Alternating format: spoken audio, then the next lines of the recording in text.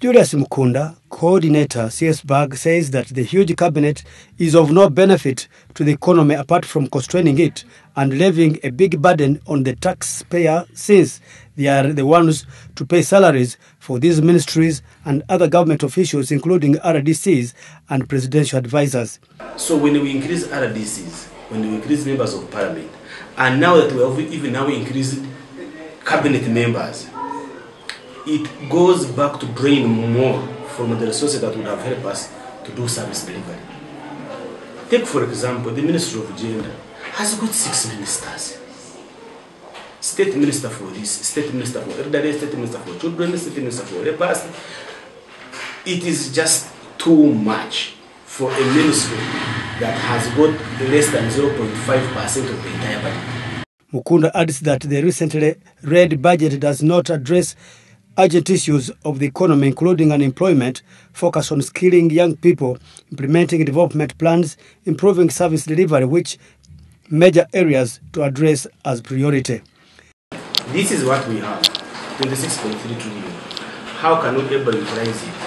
And for us, we are saying that in order for us to utilize effectively and get all the benefits of the 26 trillion budget for this coming financial year, we need to ensure that the context in which it's being implemented, implement, implemented improves.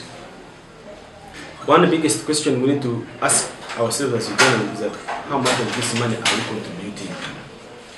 We have seen that out of the 6 trillion, we as Ugandans, we are only going to collect 49% of this entire budget. The rest of it is going to be borrowed.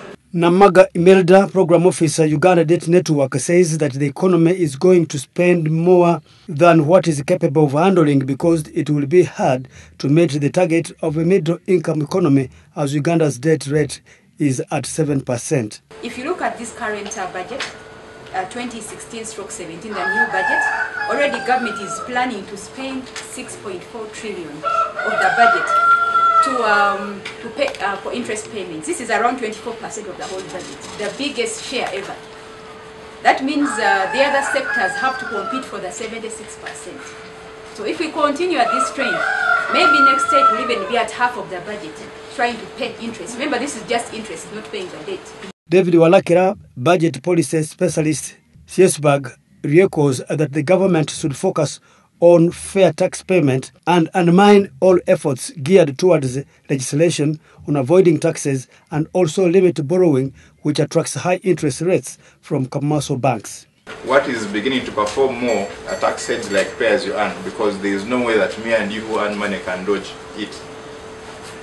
So efforts to make it um, get more money are underway. So if you possibly earn more than 10 million shillings uh, a month, you're going to be um, seeing a, a surcharge of 10% on top of the 30%. So in effect, you're going to be charged 40%.